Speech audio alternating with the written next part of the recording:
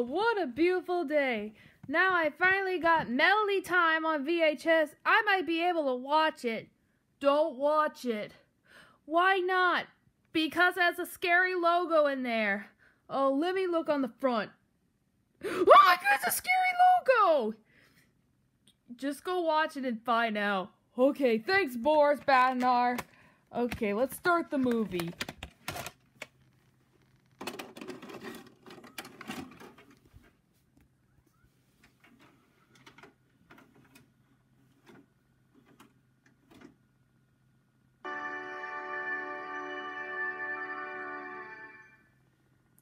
Wait a minute.